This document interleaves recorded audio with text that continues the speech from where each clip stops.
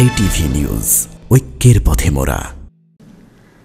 জাতীয় পার্টির প্রতিষ্ঠাতা চেয়ারম্যান হুসেন মোহাম্মদ এরশাদের মৃত্যুতে শূন্য হওয়া রংপুর তিন আসনের প্রার্থিতায় চমক থাকতে পারে। এরশাদ পরিবারের চার সদস্যের পাশাপাশি দলের অন্তত তিনজন নেতা ও আসনে নির্বাচন করার আগ্রহ প্রকাশ করেছেন। এতে সিদ্ধান্ত গ্রহণে কিছুটা বেকায়দায় পড়েছেন দলটির চেয়ারম্যান গোলাম মোহাম্মদ কাদের। জাতীয় পার্টির senior co chairman Begum Rowshan এরশাদের সঙ্গে ঐক্যমতে পৌঁছাতে পারছেন না তিনি। দলটির একাধিক নেতার সঙ্গে কথা বলে এসব তথ্য জানা যায়। দলটির একাধিক নেতার দেওয়া তথ্য মতে, রংপুর তিন আসনে জাতীয় পার্টির সুপ্রিম কমান্ডারের হাতেই থাকার কথা।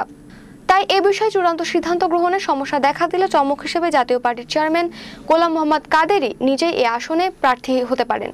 তিনি নিজে না হলে ওই আসনে তার ভাই আমেরিকা প্রবাসী ডক্টর হুসেন মুর্শেদ প্রার্থী হতে পারেন। সেক্ষেত্রে জি এম কাদের লালমনিরহাট তিন আসনে দেখা যেতে পারে অন্য কাউকে।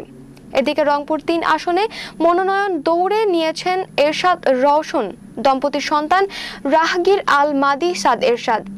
আর এতেই ঘটেছে বিপত্তি। মা রওশন এরশাদ তার স্বামীর আসনে ছেলে সাদকে মনোনয়ন দেওয়ার পক্ষে অবস্থান নিয়েছেন। নাম প্রকাশে অনিচ্ছুক জাতীয় পার্টির এক যুগ্ম মহাসচিব জানান, রংপুর তিন আসনের মনোনয়ন নিয়ে বিরোধ থেকেই জাতীয় পার্টির চেয়ারম্যান হিসেবে গোলাম মোহাম্মদ কাদেরকে অস্বীকার করে বিবৃতি দিয়েছিলেন দলটির senior co chairman Begum Rowshan Ershad Ghulam Muhammed Quader ও বেগম রওশন এরশাদ বিভিন্ন ইস্যুতে নিজেদের মধ্যে দর কষাকষি করাতেই এসব বিষয়গুলোকে অমীমাংসিত রাখতে চান। দেশ বিদেশের প্রতিটি সংবাদ সবার আগে পেতে সাবস্ক্রাইব করুন আমাদের চ্যানেলে আর ক্লিক করুন পাশে থাকা বেল আইকনটিতে।